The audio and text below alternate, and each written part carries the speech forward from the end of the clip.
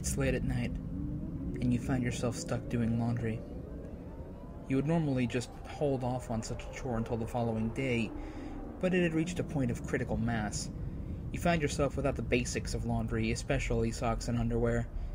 You decide you'll just take a small load down to the laundromat and get it done quickly. At this time of night, you're the only person in the place, probably because you're the only person crazy enough to be doing laundry at this ungodly time of night. Even though the place is brightly lit and you've got your iPod going to drown out the humming of the machines, you still feel a sinking sensation in your stomach. Perhaps it's the loneliness. You've been alone before, but being alone in a place like this, which is normally packed with people, you feel disconnected. In a situation like this, you might be able to fool yourself into thinking the rest of the world has vanished and you're the sole survivor of some dreaded apocalypse.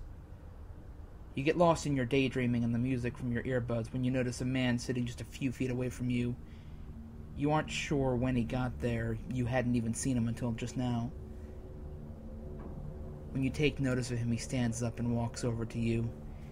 He wears a cheap looking gray suit which is ragged and torn, and is his face covered by a ski mask.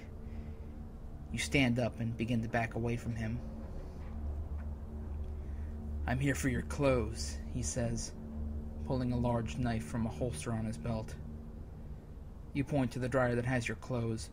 It beeps loudly, announcing its completion. Just a few more minutes, and you would have been out of this horrible place and not in this situation.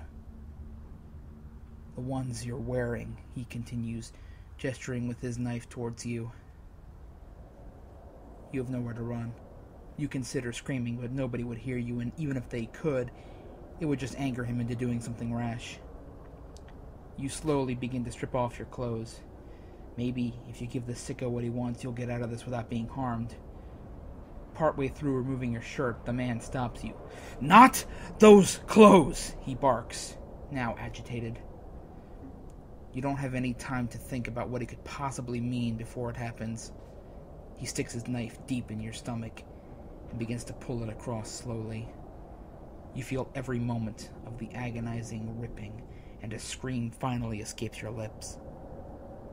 He carves off a piece of your skin and lifts it up to his eyes. The last thing you hear is the man's approval.